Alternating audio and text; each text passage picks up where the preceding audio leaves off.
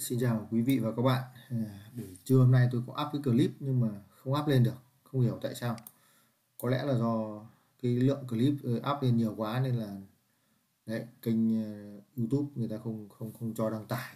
Có nghĩa là tải được lên nhưng mà không ai nhìn thấy, có nghĩa là muốn nhìn thấy là tôi phải gửi tôi phải gửi cái tôi phải share cái link xong rồi vào thì mới xem được. Đấy, sau đó thì tôi xóa cái clip đi rồi.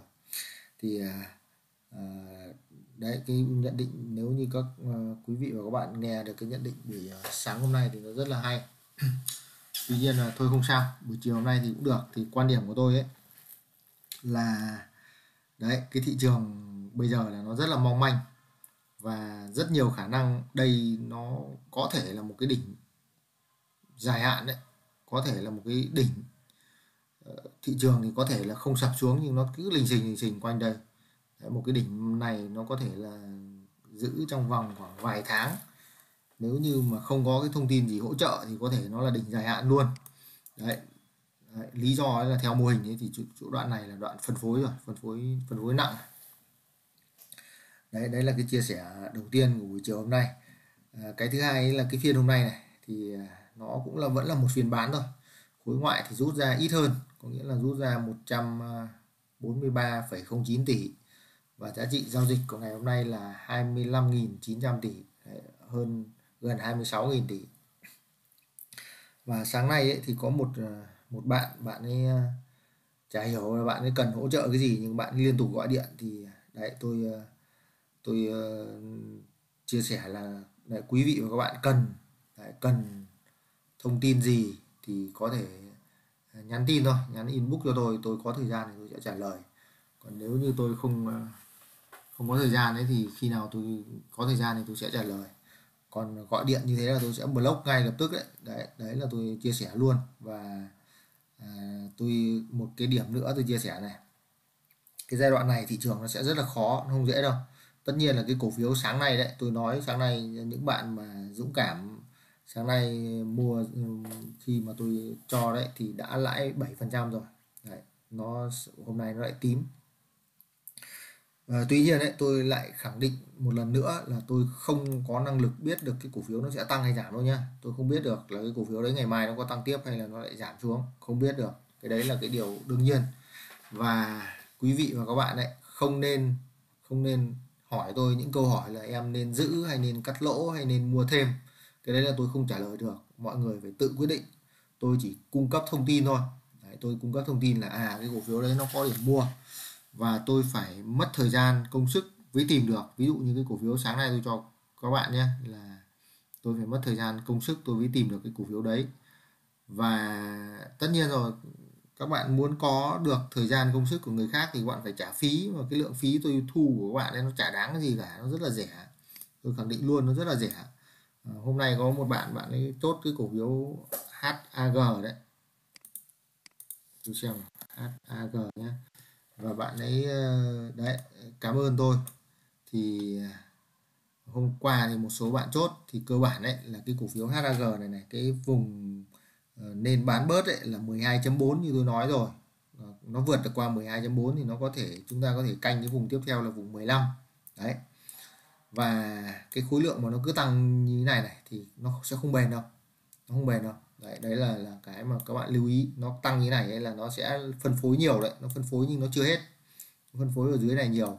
Còn nó chỉ tăng ít thôi. Sau đó thì nó nó nó, nó cái cung nó giảm sâu xuống. Đấy thì sau đó nó giảm sâu xuống nhưng thỉnh thoảng nó lại tăng lên xong lại giảm sâu xuống thì nó mới bền nhá đấy là đấy là cái mà tôi chia sẻ và không thể đoán được là nó sẽ lên nữa hay là nó xuống hoặc là nó sẽ lên bao nhiêu thì cái đấy là không biết đâu nhá.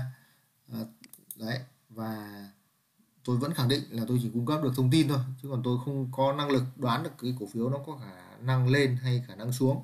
Mà cái việc mua hay bán hay nắm giữ là các bạn phải tự quyết định và tự chịu trách nhiệm với những cái quyết định của mình đấy, nên hạn chế nhắn tin hỏi tôi là em có nên mua thêm hay là em nên giữ hay em nên cắt lỗ là cái đấy là tôi không trả lời được.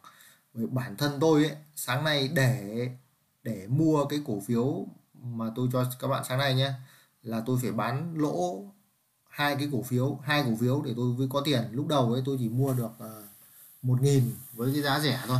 Một nghìn cái giá rẻ là giá giá giá nó hơi nhỉnh lên một tí, hơi nhỉnh lên so với giá tham chiếu một tí đấy sau đó thì tôi phải mua với giá sát, giá tím đấy giá tím ấy.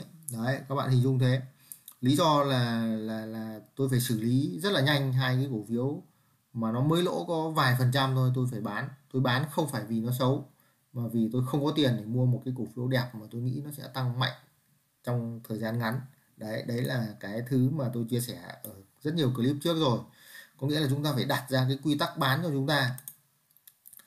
H ờ, FLC hôm nay nó lại xanh nhá xanh đẹp nhá tăng 3,16 phần trăm. HPG thì tôi nghĩ vẫn khó khăn thôi. Đấy cái dòng thép thì đấy nó nó nó đẩy lên nhưng mà không phải đâu tiền không vào được không nên là vào là dễ bị ăn bô. Nên tôi tôi khuyến nghị là không nên vào dòng thép và khả năng rất là cao đây là đỉnh đỉnh dài hạn của nó rồi. Đấy khả năng rất là cao nhá.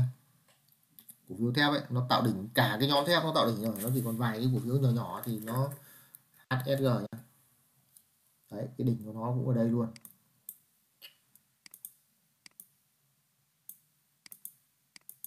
Đấy.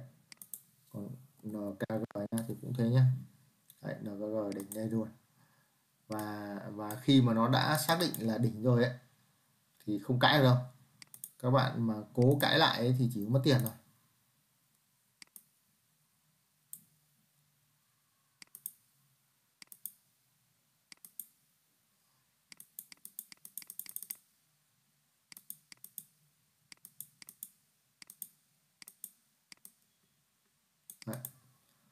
Các bạn cố cãi lại nó là là mất tiền. Có nghĩa là trong ngắn hạn các bạn t cộng 3 ấy, thì may ra ăn được tí xong nó lại dập xuống lên lên tí dập xuống. Đấy nếu như đây là đỉnh dài hạn nha và cái nhóm ngân hàng cũng thế quan điểm của tôi nhóm ngân hàng nó cũng tạo đỉnh dài hạn rồi đấy. Nhóm ngân hàng tạo đỉnh dài hạn trước. Tạo đỉnh dài hạn trước. Sau đó đến nhóm thép. À, giai đoạn tới mà có thêm vài nhóm nữa tạo đỉnh ấy, thì khả năng là thị trường sẽ sang thị trường gấu. Đấy tuy nhiên đấy là chúng ta vẫn phải chờ đợi chúng ta không đoán được điều gì đâu. Và và và nếu như đây là đỉnh này thì nó cũng hợp lý thôi nó cũng hợp lý thôi nó không có cái gì gọi là bất hợp lý cả. Theo kỹ thuật nha không có gì bất hợp lý cả. Nếu mà đây là đỉnh thì nó cũng hợp lý thôi nó rất hợp lý nha. Không không có gì bất hợp lý cả. Và và kể cả đây là đỉnh nhá thị trường nó chuyển sang thị trường gấu ấy, thì chúng ta vẫn kiếm được tiền nó vẫn sẽ có những cổ phiếu nó sẽ tăng và trong cái trong cái thị trường gấu ấy đấy cái cái pha giảm ấy thì nó sẽ xen kẽ những cái pha tăng và chúng ta sẽ ăn điểm đấy ăn uh, lãi ở những cái pha tăng nhá. Thì cái đấy là cũng không không không có gì mà lo. Đấy nếu mà đã xác định là giao dịch lâu dài trên thị trường chứng khoán thì kể cả nó chuyển sang gấu thì cũng không sợ nhá. Đấy tuy nhiên đấy là những cổ phiếu yếu là không nên mua nhiều bán và quan điểm của tôi là nên giữ chỉ ba mã thôi một mã hoặc hai mã dài hạn còn một lượng tiền là cứ lướt sóng. Đấy, cứ lướt sóng như cổ phiếu hôm nay đấy là vào vào vào và quan điểm của tôi ấy là ngay cả những cái cổ phiếu mà tôi cho các bạn này nhá VG này nó chưa xấu đi. Nhưng để đánh giá là nó mạnh thêm hay không ấy thì không biết bởi vì cái dòng chứng khoán là nó chưa tạo đỉnh nó chưa chưa chưa nói nó chỗ này là đỉnh nên là đấy còn SSI nó cũng chưa nói nó là đỉnh nên đấy là người ta vẫn còn kỳ vọng tuy nhiên đấy, nếu mà cái chỗ này này, phải một thời gian nữa thì chúng ta mới biết được cái chỗ này có phải là đỉnh không.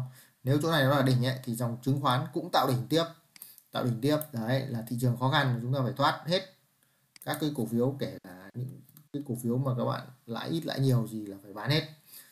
Những cổ phiếu này nhá, nó chưa đến điểm cắt lỗ đâu. Đấy, nó chưa đến điểm cắt lỗ, nó chưa xấu. Tuy nhiên đấy nếu như dòng chứng khoán mà xác định đây là đỉnh này, thì cũng phải bán hết, lỗ hay lãi đều phải bán.